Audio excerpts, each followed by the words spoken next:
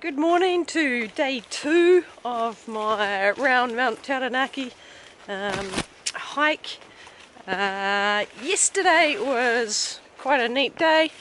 Um, I did have to do a little bit of extra kilometres, worked out to be extra around three kilometres um, because of a, a track closure. Um, so it was 13 kilometres and I know I was taking it easy but it shows what the tracks are like because that took me about six hours. But half an hour for lunch and lots of breaks, lots of photos, lots of videos. Um, last night it rained um, and I'd put my tent up a little funny so um, I did get a dribble of water in one end where the end um, had overlapped my inner um, but it was only a small puddle which I quickly dried up this morning. Apart from that, tent held up well as usual. So today um, I walked, got a stream crossing coming up in about 30 minutes. Um, then I'll be in the bush for a while, I'll get to a track junction and then there's a choice of an upper and lower track. I'm going to take the upper. It's meant to be the same amount of time despite the upper track um, being a longer distance. But I think the lower track's not as well maintained and there's a lot of um, uh, streams and ups and downs and ups and downs for the streams. So I'll take the upper track. Um, it has stopped raining. Um, but it's overcast so it's actually a, a lovely temperature and perfect conditions to get photos of this vivid green in the bush. So, good day. I'm about to drop down to the stream. It must be pretty steep because we actually have a stair to, whoa, up us down. Yes, that is quite a steep drop off. You can hear the sound of the stream. So it looks like I'm coming up to the big river now.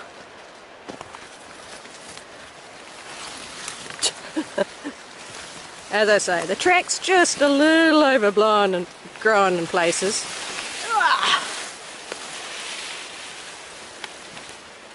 And there we go, out on the river. So I just came from there and now heading up the rocks. It started raining. Um, my shorts are already wet from brushing past the overgrown track and I have put my umbrella on just to keep the top half dry because it's too warm for a jacket. Um, so I'm just looking for the orange marker and there it is across the river. Um, so let's see how the river looks. So a bit of rock hopping to even get to where the river is. I've crossed a couple of smaller braids first. Not much of a view up the mountain today. So it's not a big stream that I've got to cross and I'm just to jump across there. It's just a lot of river walking. Um, there's a marker up there that I'm heading to and then I think we start to go above the river for a bit.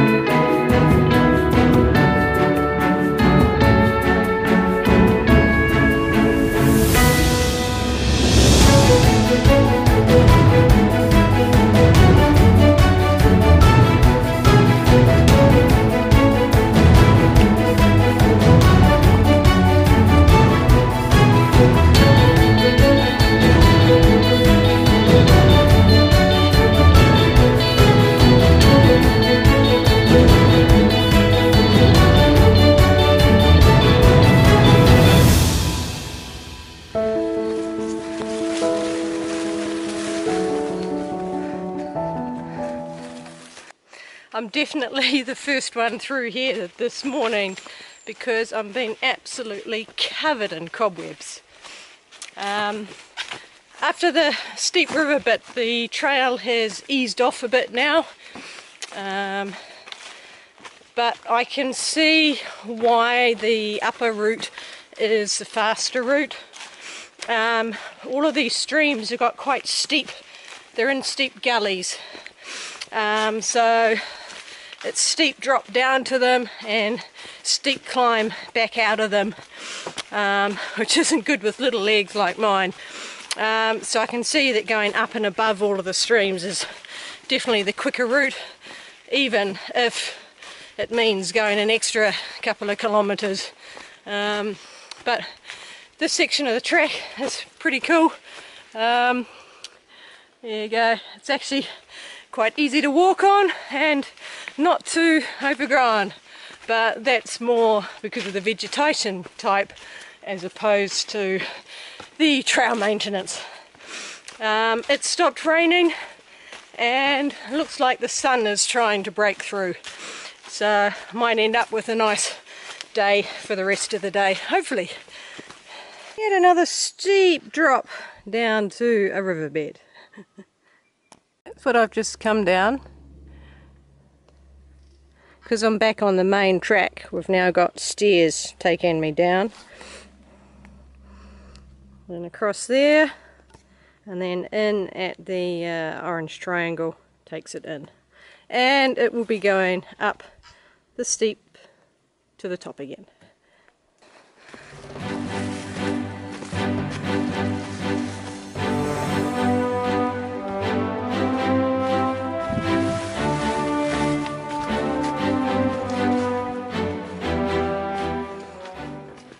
Like a diving platform.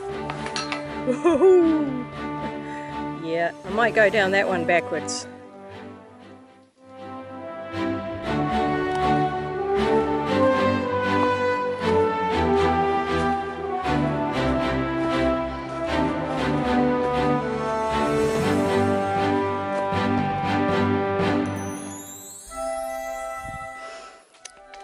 So you can see by the expected speed um, how rough that part of the track is.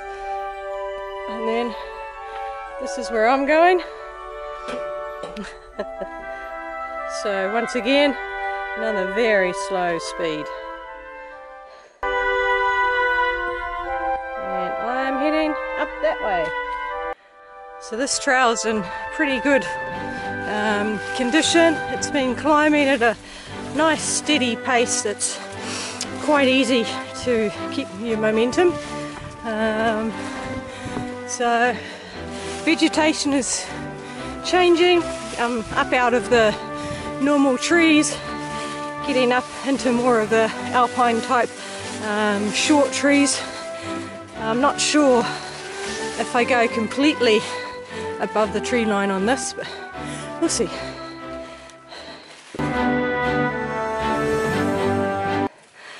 So I've reached the uh, the corner. So that was the bulk of the climbing has now been done.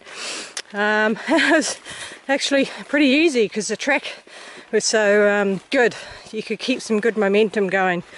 Um, so now I'm sidling along the side of the hill to get to the hut.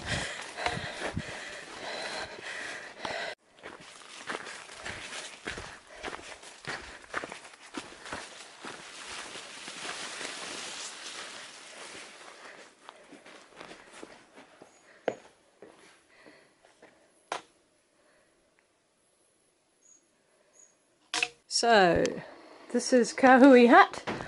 Um, I know there's no one in it because I just bumped into a British couple who had just stopped here for lunch. Um, so it's a very basic hut. But unlike Norway, it has a tap and a sink inside. Um, and then the bunk room is through here. So room for six people. Now the reason that these mats are sideways is so that um, mice don't run over them and leave their droppings. It keeps them clean and ventilated. Um, and it's a, a vinyl material um, so that people's sweat doesn't soak through. It keeps it a bit more hygienic. Um, so that is the hut. They always have a intentions book. So even if you're not staying in the book, uh, correction, if you're not staying in the hut, you should still put your name down anytime that you're near a hut. Um, it's got a lot of safety information and then um, people put their information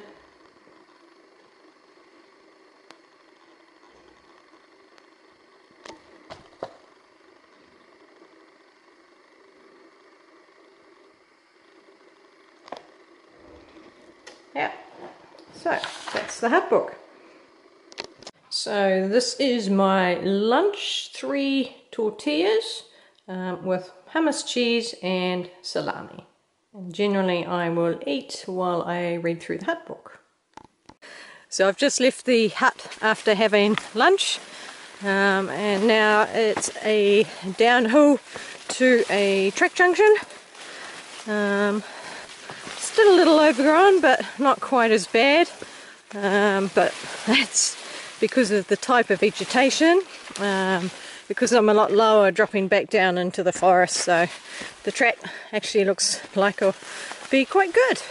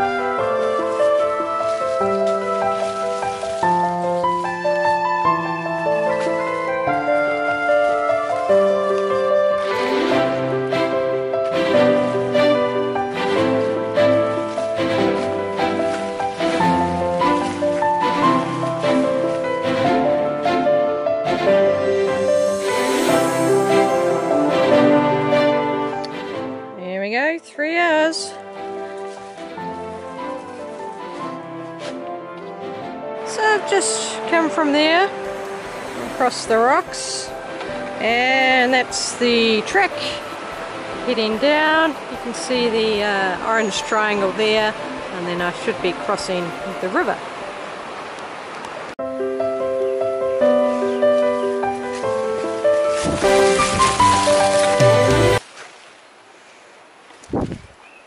So that big jolt was me tripping up.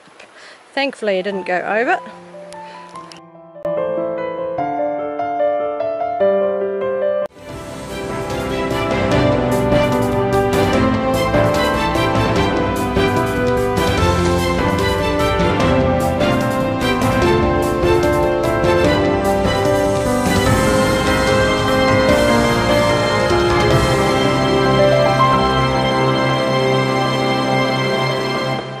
Just come down this ladder, coming down into another stream, through the mud, and we actually have a bridge across this one. It's been very slow going um, on this part because of how steep um, have to go down and up to get into the streams and most of them don't have lovely ladders like that um, I've been having to use my hands to uh, grab onto branches and um, roots to try and haul myself up. Um, so definitely slow going. You can see why it's such a, a slow estimate. So here's what happens when there are no stairs. And that's one of the easier ones. It looks like I can actually do it without having to pull myself up using roots.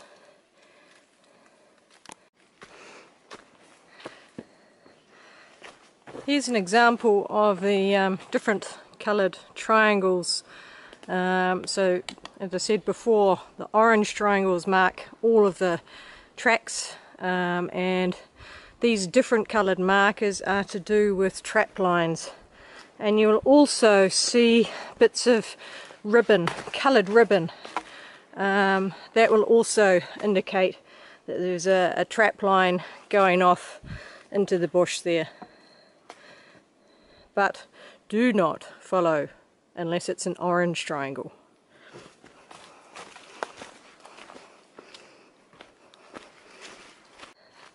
This vine is called supplejack and um, when you have to go through it it's got this really strange thing that even when you think you're clear it will still grab hold of you and uh, pull you back um, and it's what makes travel through this sort of terrain very very slowly if you don't have a nice track um, to walk on.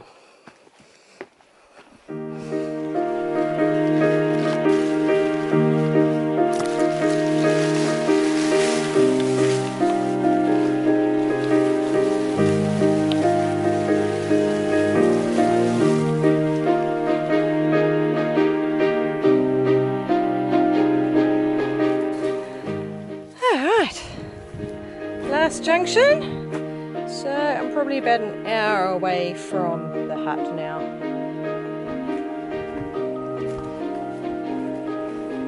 Hmm.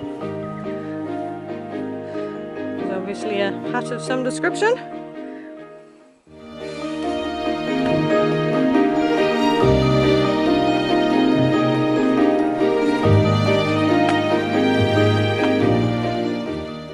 Wow, this is a beautiful luxury track.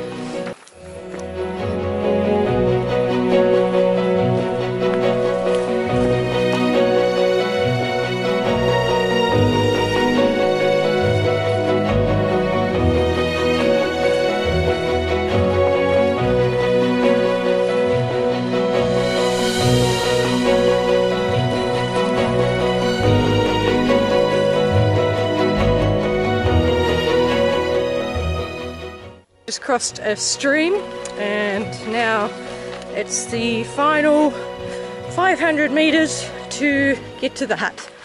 Um, so very much looking forward to a nice rest and it'll be a quite an early day despite the late start. Um, but really neat track.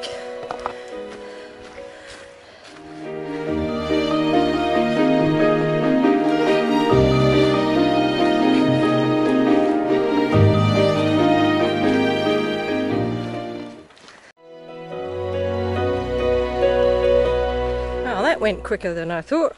So, five minutes to the hut. And then tomorrow I go that way, the 6 hours and 30.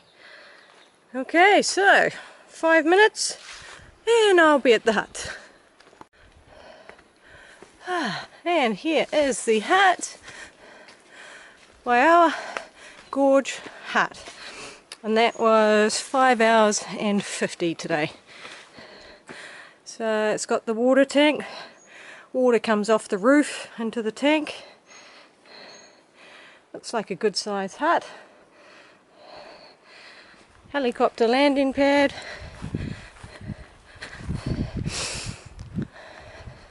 This will be both for emergencies and to drop off workers to do maintenance and conservation.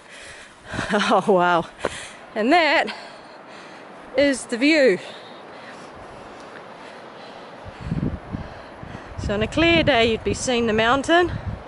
Um, but this is the gorge going down. Beautiful. Okay, so that's me for the day. I will relax in the hut. So this is the inside of the hut. This is a more modern hut which is um, nice and clean. So that's the kitchen area, um, bedrooms, a fire, firewood storage, and then just a social area, dining area. And then the bunk houses are both the same, um, just a platform bunk with the mattresses and there's a platform up the top which is for more um, people to sleep